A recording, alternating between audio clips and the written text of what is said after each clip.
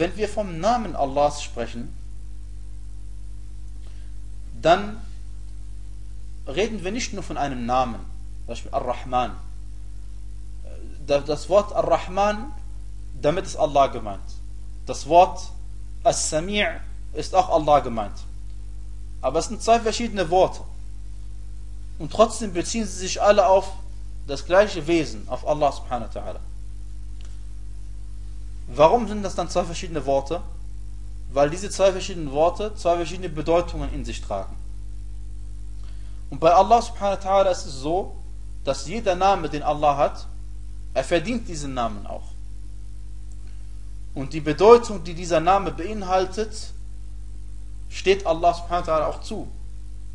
Die Eigenschaft, die in diesem Namen drin steckt, steht Allah zu. Beim Menschen ist es nicht so. Ich gebe ein Beispiel dafür.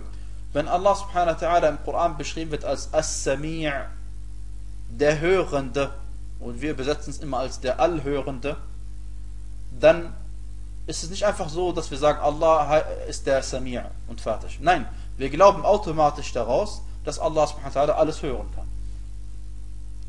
Das bedeutet, es ist nicht nur ein Name, sondern eine Eigenschaft ist direkt impliziert, drin beinhaltet. Bei uns ist es anders. Jemand kann Muhammad äh, äh, kann den Namen Muhammad tragen, ohne eigentlich zu wissen, was dieser Name bedeutet. Oder jemand kann Ali heißen, und Ali bedeutet der Hohe, und trotzdem kann er zu den Menschen gehören, die am meisten erniedrigt sind. Und jemand kann heißen Abdullah, und trotzdem kann es sein, dass er nicht an Allah glaubt und überhaupt nicht Allahs Diener ist im Sinne von, dass er sich ihm ergeben hat. Ja? Bei Allah subhanahu wa ta'ala ist es anders. Dort sind immer die Namen, äh, heißt es, die Allah zustehen, beinhalten Eigenschaften. Diese Eigenschaften beinhalten, äh, was ist, äh, äh, schreiben wir Allah subhanahu wa ta'ala ebenfalls zu. Und aus den Namen Allahs können sich Dinge automatisch ergeben. Ich gebe ein Beispiel dafür. Ähm, Allah subhanahu wa ta'ala sagte, schlagen wir mal auf, auf der Seite 559, äh, so im 12. Vers in Surah Al-Talaq, im 65. Surah, Vers 12.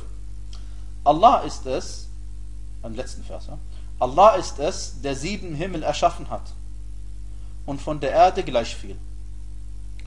Der Befehl Allahs kommt wahrhaftig zwischen ihnen herab, damit ihr wisst, dass Allah zu allem die Macht hat und dass Allah ja alles mit seinem Wissen umfasst. Wenn wir diesen Vers verinnerlichen, verstehen wir folgendes. Allah subhanahu wa ta'ala sagt uns, dass er die Himmel und Erde erschaffen hat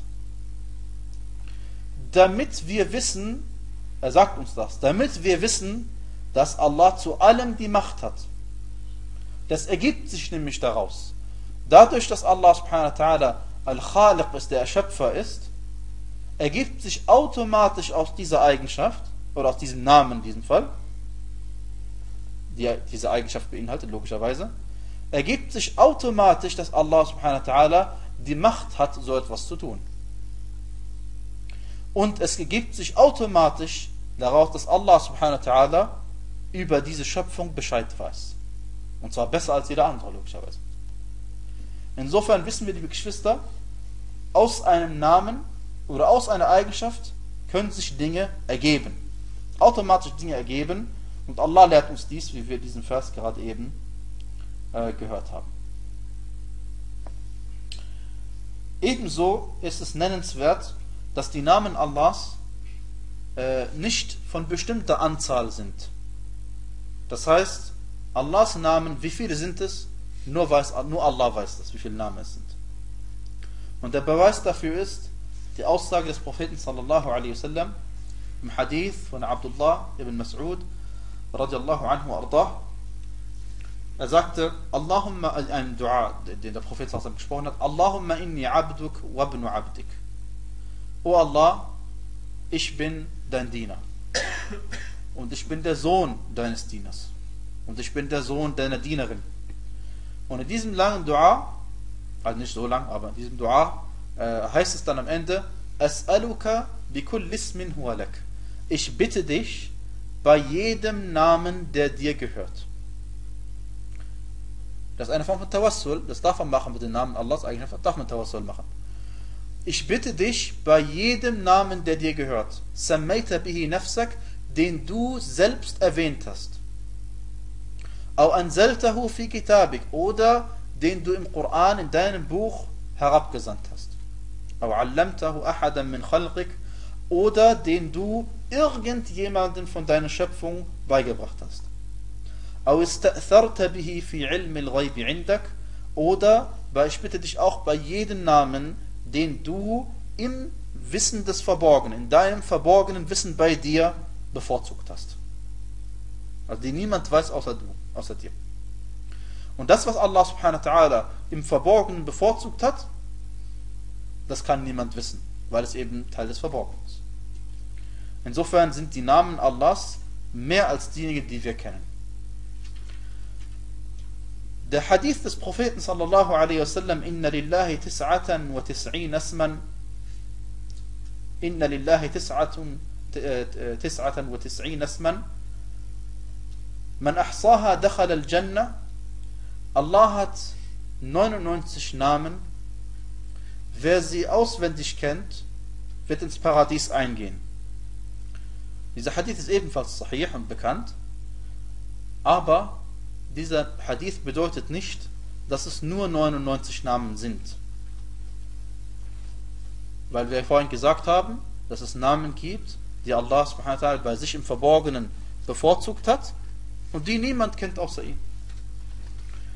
Sondern gemeint ist, es gibt von den Namen Allahs 99 Stück, wer sie kennt, wird ins Paradies eingehen. Ja? Das ist damit äh, gemeint. Äh, genauso wie man sagen würde, ich habe äh, 100 äh, Pferde äh, für den Dschihad fi sabilillah vorbereitet. So bedeutet das nicht, dass man nicht vielleicht auch 200 Pferde hat. Ne? Könnte sein, man hat 200 Stück. Ja?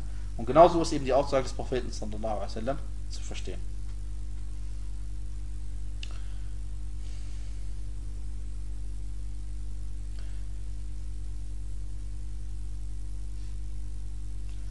Des Weiteren, liebe Geschwister, wenn wir von den Namen Allahs sprechen, was, sind, was ist mit den Namen gemeint? Ein Name, liebe Geschwister, ist äh, nichts mehr als eine Bezeichnung für etwas.